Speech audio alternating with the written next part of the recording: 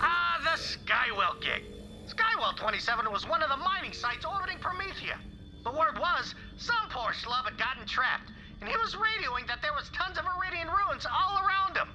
I figured he was lying, so the corporations would actually send a rescue crew instead of just paving over the poor bastard. I'd trust a rabbit skag before I trusted a corporation. Unless that skag was running a corporation.